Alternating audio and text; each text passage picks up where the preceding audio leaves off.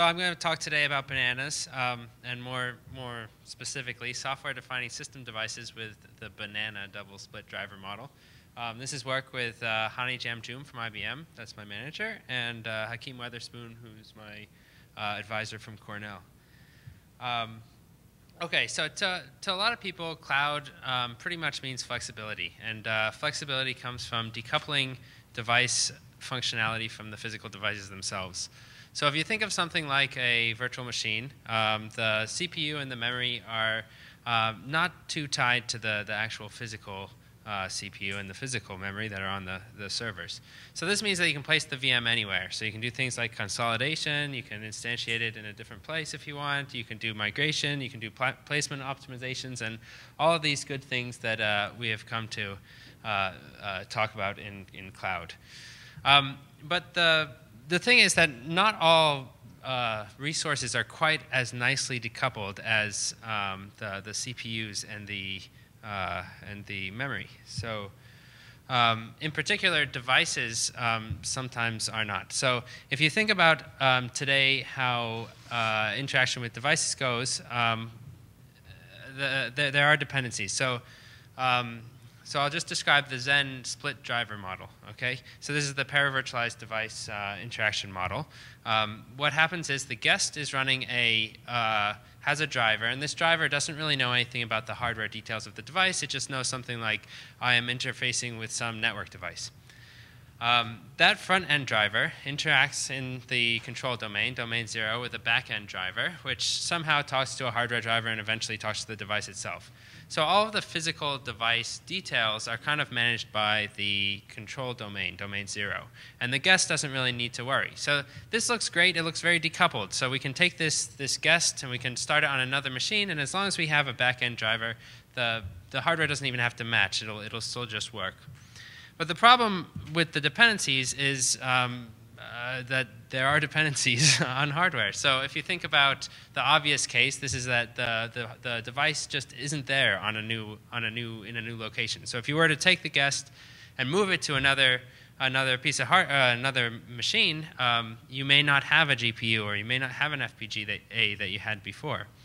Also, there are um, things like uh, device-related configuration, like, for example, network configuration. So while the the front-end driver may be decoupled from the hardware driver, there's, there's still some, some configuration in the network that might depend on that particular, uh, that particular coupling. So something like a, um, a, a, VLAN tag that is, is uh, set for some particular port. So the main problem here is these dependencies sort of limit that flexibility. So all those good things that I listed before are limited by the fact that you have these, these hardware dependencies. So, um, and, and, this is kind of, uh, kind of obvious. If you move the, if you were to move that VM and one of these dependencies uh, gets broken, then things will no longer work. And more than that, there isn't even an easy place to kind of plug into the hardware driver that you had before. So um, this this backend uh, backend and hardware driver combo is some uh, ad hoc mixed together um, uh, combination of, of backend driver and hardware driver. So what we're proposing is to take the split driver model, that's this one, which is only partially decoupled, and split it again um, to make it more decoupled. so, and that's where the name comes from, banana double split uh, driver model. Um, so basically what we're saying here is let's take that system portion of the device driver uh, interaction model, the, the, split, the split driver. And let's split that again and make a very clean separation between the hardware driver, which we're now calling the CORM, and the backend driver, which we're calling the spike. Okay, and the important thing is that there's a, there's a standard interface between the spike and CORM, a very well-defined interface, and, and the two things can be connected with wires, and they can be um, uh, uh, updated and um, you know, rewired, reconfigured on, in a kind of software-defined manner. So now if you think about moving that, that guest, that domain zero to another machine, you can think that the spike may go with it and that wire will stretch out so now it has stretched between multiple physical machines. So that, that initial kind of uh, uh, limitation on the flexibility um, sort of uh, goes away.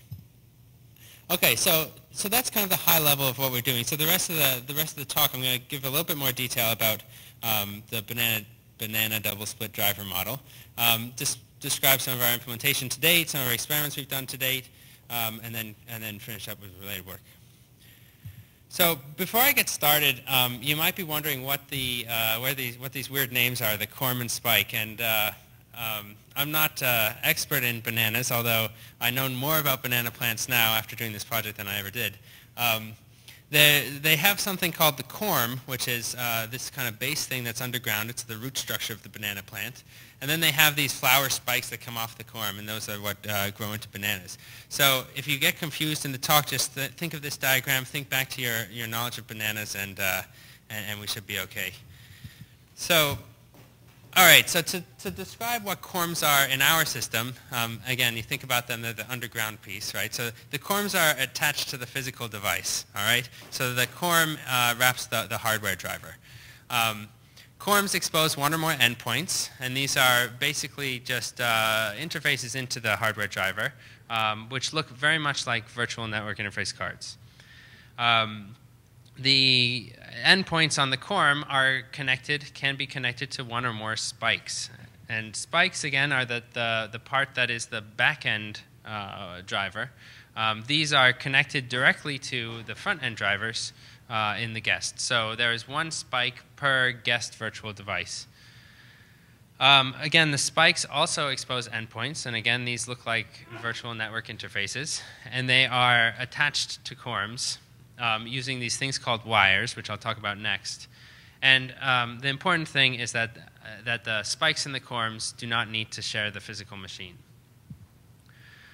So, and the reason they don't share the physical machine is because they're connected with wires. And wires are just connections between endpoints. Um, and there can be a, a, number of different ways the wires can be connected.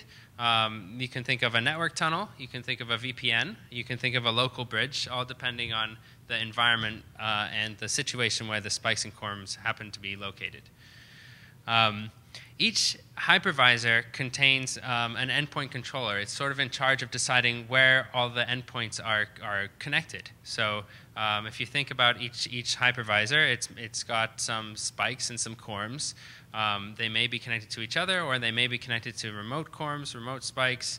Um, it's basically the endpoint controller is, is the, the, the name of the, the piece of the system that, that decides uh, or that manages what's connected to what and uh, sets the wire type. So if you have co-located spikes and corms on the same machine, they'll be uh, connected with a local bridge, uh, etc.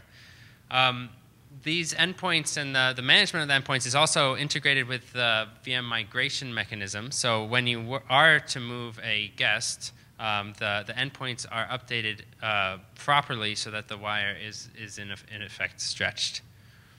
And really what we're going for here is, is, is a very simple interface um, between these two parts of the, the, the back end of the, of the split driver model. So we want to be able to connect and, and disconnect these, these things and do that on the fly and as you move things around, um, uh, use these primitives. So when we started uh, implementing this, we first, uh, we first decided to focus on um, the network devices in Xen. And we figured that this was uh, sort of a nat natural place to start just because um, once you have uh, you know, some of this remote spikes and corms connecting to each other, you're going to be doing network things anyway. Um, our endpoint implementation exposes uh, NetDev and Linux. Um, so these uh, these are these are the the endpoint. It, it really is a virtual network interface, and um, the way we attach them to the backend drivers and the outgoing and the actual physical hardware, the outgoing interfaces, is by um, grafting them together with something we call an endpoint bridge. So um, if you look at the diagram, um, now the front end is still talking to a back-end driver uh, unmodified from the normal way that a Xen virtualized network driver would work, except now um, you have this endpoint which is connected to it uh, via an endpoint bridge. Um, the endpoint implements, uh, implements the wires. Um, when, when packets come out the other end of the, of the endpoint, um, this may be on a different machine, that endpoint is, is also connected uh, via a bridge or vSwitch to uh, the outgoing interface. Okay, so we implemented different types of wires. Um, so the we we bridge them together if they're if they're native, if they're on the same if they're on the same machine. Um, we have an encapsulating wire, which um, basically adds a VXLAN header to to packets, um, and this is done in a kernel module that that, that we wrote. Um, and then we have a, uh, a, tunneling wire, which uh, uses OpenVPN. Um, the way we configure the wires is through a, a, proc interface. So again, it's very, very simple in terms of uh, setting. It's a connect-disconnect type thing. Um, we interface with proc to, um, to, to, say where the other end of each endpoint is. And, uh, and we in integrated this with uh, live migration um, by, by simply updating the endpoints um, on the migration complete. Okay, so our, our uh, goals with our experimentation, um, really what we wanted to do uh, to start off with was, was to do kind of the, the, the most um, extreme test we could think of of, of location independence. And so for us, that was um, cross-cloud live migration, or moving a VM from one cloud to another and try to keep using the same CORM, which is essentially the same, same physical device. Um, so uh, I'll describe a little bit about that. And uh, also we have uh, a little bit of uh, preliminary uh, experimentation on the actual wire performance because the wires are sort of uh, a crucial part of, of, of, this, of this whole thing. Okay, so to, to be able to, to do this cross-cloud live migration, we needed a little bit of a complex setup. So we needed resources from two clouds, um, preferably that were under different administrative domains, because um, that's what makes it uh, uh, a little bit more of a difficult test. So we took resources from Amazon EC2. Uh, these are four times extra large cluster compute instances, and uh, also local resources. And in order to get the control that we needed on Amazon EC2, we used um, the Xen blanket, which is some of our prior work, for a nested virtualization. So essentially what we do is we run um, a, a Xen system inside a, uh, a, a, instance, uh, a virtual machine instance in Amazon EC2, and we also ran one back in our local just so we had consistency. Um, for these experiments, we didn't worry about the disk. So when we migrate our VMs, we're just using an NFS server that's in our local, uh, local environment. Um, and um, for all the measurements, we used, uh, we used NetPerf to, to compute the, the throughput and the latency. Okay, so um, these graphs on this page show the, uh, the, the results that we computed from our cross-cloud live migration experiment. So um, uh, the two VMs were com communicating with each other um, using NetPerf the entire time, um, just continuous NetPerf traffic. Um, and what happened was we have the, the two VMs on our local environment. They're both communicating together. We migrate one, we wait a little while, then we migrate the other. Um, and so what you see in these graphs is, is what happened to the network traffic in the meantime. So um, you'll see that there's a big drop in performance. Um, that's expected. At that point when the, the, the, drop in performance was there, um, that's when one VM was on Amazon, one was on our local instance.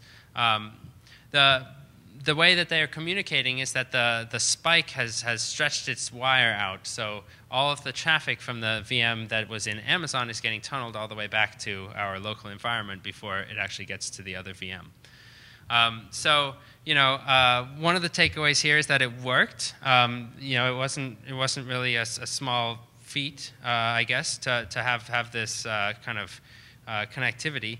Another interesting thing that I think this uh, kind of brings up is um, what, what, what, what happened at the end of this experiment. So um, you would expect if we left the CORM where it was that all the traffic would bounce back and uh, all the way back to our local environment and then back to, to Amazon. And what we see here is that the performance came right back. That's because we, we played a little trick. We did something that we call CORM switching. So um, after migrating both VMs, the dependency um, the dependency that they had on the, on the physical network was no longer there because they were now co-located and they could use a local switch to communicate with each other. So since the dependency was gone, there was no reason not to switch their CORMs to the local uh, the local network, the local CORM. Um, and you know, we see that as an example of where the performance um, was recovered. So the, the way to think about this experiment is not, um, not that, the, that, the, that the performance is terrible uh, once you migrate one from the other. Of course it is. Uh, you have a lot of, uh, uh, a lot of distance in between, but it's more like um, this is, you know, again, this is an extreme case, and, and there are these, these, these concepts that this CORM switching concept can be an optimization that you can then apply once you start moving things around. And so really this is another example of the kind of flexibility that we're, we're going after. Okay, so to, we, we did compute some more migration numbers. Um, and again, um, you know, for the most part, these are preliminary numbers, and you know, we haven't, we don't have a uh, uh, optimized environment or anything. Unfortunately, a lot of the numbers are um, a little bit hard to interpret because our experimental setup brings in a lot of overhead. Um, we're using this this Xen blanket layer for the nested virtualization, and that already increases downtime of, of virtualization or uh, downtime of live migration by 43 percent. Um, and you know the, the flexibility that we're getting for doing this migration is, is, is not for free. We, we are migrating our migration of the banana endpoints does give a further 30% um, overhead. But again, um, you know the, the main thing here is that um, you know we illustrated the possibilities of stretching and also the opportunities for improving performance. And we did we completed the cross cloud mi live migration with 2.8 seconds of downtime. Okay, so we also did a little bit of uh, a little bit of brief evaluation on um, on on our wire types. So, um, like I said before, we in our implementation we used a kernel module to implement an encapsulating wire, which basically put a VXLAN header on every every packet. Um, and we compared this um, with a bunch of other um, uh, tunneling uh, mechanisms. Um, really what we wanted to prove to ourselves is that we could we could do some kind of encapsulation with with decent performance because um, anytime you have uh, you know these these uh, CORMs and spikes on different machines, even if they're in the same network, you're going to be doing some kind of encapsulation. Um, so uh, our results showed that you know um, our results were, were pretty good. Um, we found that we did get a performance improvement by using our kernel module. Um, the other interesting thing that kind of came out of this is that um, it seemed that using a kernel module was especially important in the nested environment. So again, this is kind of talking more about the, the experimental setup than the actual um, thing, than the actual banana wires. But um, the things like context switches are, are magnified when you're in the nested environment. So um, just uh, before concluding, um, I wanted to mention some related work. Um, so if you're familiar with Xen, you're probably familiar with uh, the block tap driver work. Um, and this is really just a different cut point. So when you have an, uh, a, uh, a, a, block device driver, um, the backend driver can be replaced with a block tap driver where you can do anything you like. Um, this, uh, another, another piece of work is, is NetChannel, which focuses on continuous access to devices. Um, we're really more interested in trying to get a, a programmable interface between the, the, top halves and the bottom halves and figuring out what kind of uh, controller can be built out of those and how to um, you know, incorporate things like the corm switching and things like that into in a sort of a central brain for this. Um, there's also been some, some, some, specialized solutions for things like high, uh, high performance network cards. So there's a, a system called Nomad, which uses, uh, which focuses on these uh, kind of network uh, cards that, that, sort of like people were mentioning earlier, that bypass the OS completely. Um, also some, some work in US, USB. And of course, another way to uh, handle network dependencies is, is through virtual networking. So, and there's been a ton of work in virtual networking um, with VL2, Netlord, Violin, others. So just to summarize, um, so I've described uh, our work on the banana double split driver model. And really the goal here is to decouple the virtual devices from their physical devices. Um, and you know, ultimately we're looking for the mappings between the virtual and the physical de uh, devices to be, to be software defined, those wires to be able to be plugged and unplugged and, and things like that. Um, so far, we've just looked at the, the network device. We, um, we picked a, a very extreme, uh, extreme um, situation to, to test it on, um, demonstrated some cross-cloud live migration. And um, you know, there's a lot of things to look at in the future. Like I said, we're, we're very interested in seeing how uh, how to build a controller that can that can manage these mappings and what kind of what kind of things we can do with that. Um, also, corm switching. Um, in the, the scenario that I described, where we, where we found both VMs were on on EC2 on the same machine, and we no longer had a network dependency. Um, that's really the only reason the corm switching worked there. It seems like there is there is um, uh, you know, there may be a way to kind of generalize how to do the, the corm switching, um, or at least uh, for different devices. So that's something that's interesting. And also looking at other devices and other optimizations and things like that. So um, that's, that's it. Uh, if you need something to remember the, the, the, the, system by, here's the picture of the banana plant again. Um, so thank you.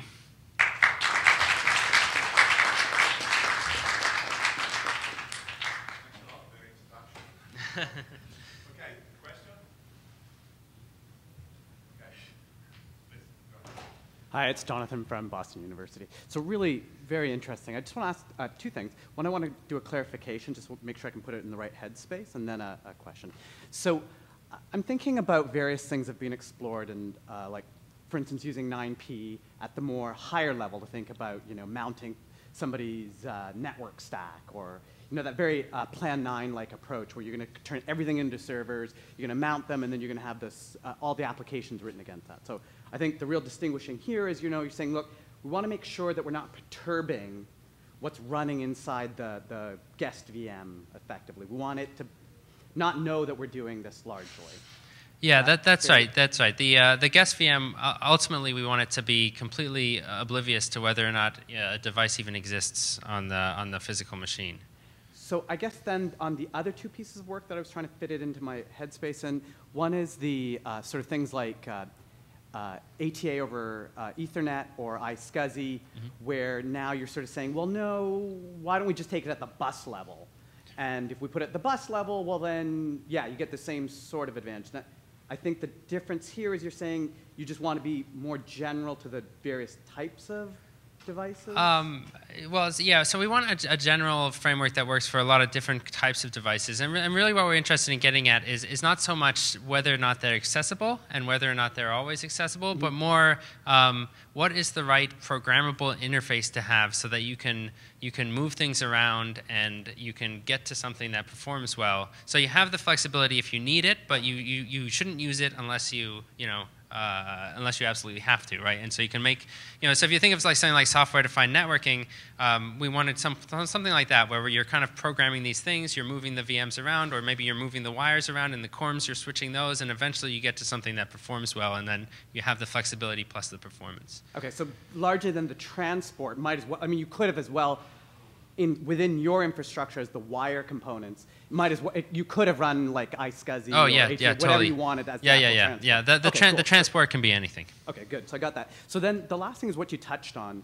You mentioned, so in these worlds where we are moving to a lot more hardware support for virtualization, where largely we are actually going to be doing SRI, you know, uh, steered interrupts and so on, in that world, doesn't that cause a problem because we're effectively cutting out that flexibility point because we're actually putting it directly into the guest VM at that point? Yeah, sure. I mean, I, I think it's an interesting um, uh, issue in general, which is, you know, um, even even if you think about about the the hypervisor, right, and when the the the hardware or the hardware support for that came came about, you lose some amount of control if you're just you know if you're saying I'm not taking as many interrupts as I used to, you're losing some of that control.